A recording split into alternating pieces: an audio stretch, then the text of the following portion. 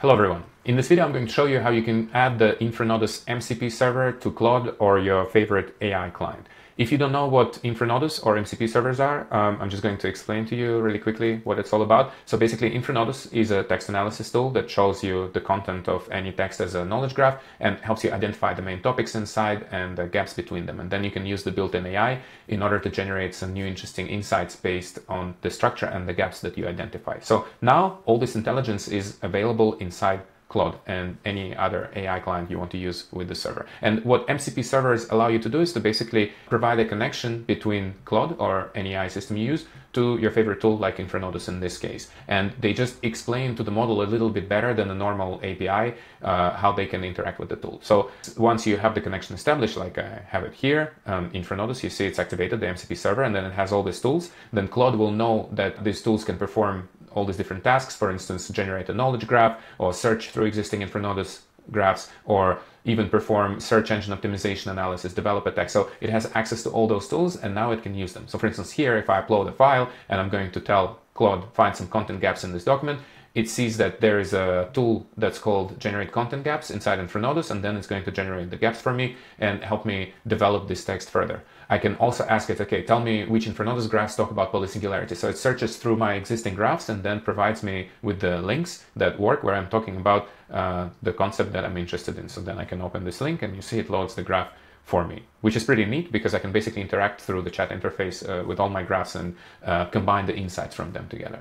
So now how to install the MCP server to Claude.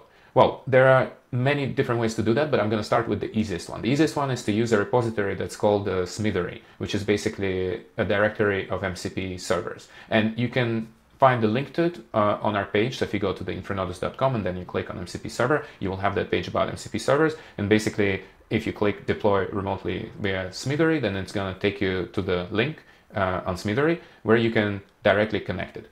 And here you will need to actually create an account on Smithery in order to be able to use it, right? So um, here what you're going to do is that you will copy uh, that link first here. Um, by the way, you can also use the instructions uh, that are provided here for the different AI clients, but now I'm just going to show you how, how you can use it in Claude uh, web version.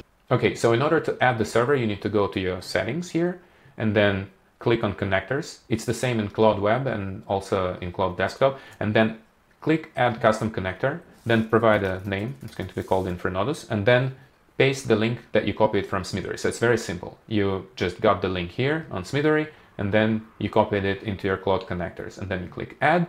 And what's going to happen is that Claude is going to take you through authentication process in Smithery. So you will need to click connect and then once you click connect, it's going to open a new page where Smithery is going to try to connect uh, this to your server. So you will provide additional settings and here you can provide the API key from Infranodus and here you will have the API base. The one that we use by default is infranodus.com, so you should just leave it untouched. With the API key, you can actually get in your Infranodus account. And in order to do that, you go to your Infranodus apps page and then you go to API and then you create the new API key, which you give a name to. So for example, Claude test, I'm going to delete it later. So even if you see this key, don't use it. Then you copy that key. And then in your activation process here in Claude, where was it? Here, you are providing this key. If you don't provide the API key, you can still use Infranodus, but you will hit a rate limit at some point. So it's better to provide the key, and that will also enable you to access your existing graphs. And then you click Update and Connect. And what happens here? Now Infranodus tool is available here it says configure, so that means it's connected. And then if you click on configure, you can see the tools which are available and also how they should be used. And these tools have descriptions as well. So now it's ready to go. And if you start using Claude again, uh, you will see here that this tool is available. It's accessible, so you can easily use it in your existing Claude workflows. So that's very easy to do.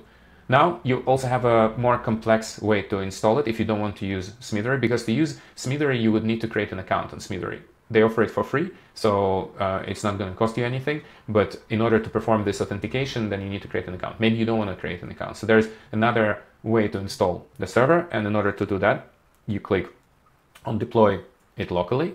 And then basically what you can do is to scroll on the GitHub page here, and it's going to provide you an explanation on how you can do that using NPX. NPX is a package manager uh, that allows you to execute local and remote Node.js packages on your computer. Uh, you don't have to know what that means, but basically what happens here is that you add this into the settings of your favorite LLM client, and each time it's launched, it's going to use uh, this program here, npx, to launch uh, Infranodus MCP server from a remote location, and then allow the LLM client that you have to use the tools that are available through that server. So it's not copied to your computer, rather it's launched from somewhere else and then it's running on your computer while you're using the LLM client. And in order to activate it, you simply go to your Claude desktop version. So for example, here, you would need to click on developer, edit config, and then you would open the configuration file and you would simply add this information into the configuration file.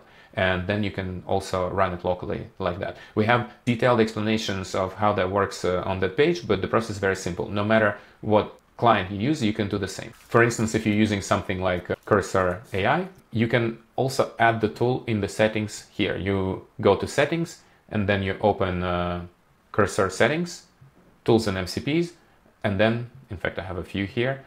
You just add it here, new MCP server, and you paste uh, this data, which I just showed you, to that page. And so very easily you have it available to you through this interface. And what you need to do is just add your Infranodus API key here.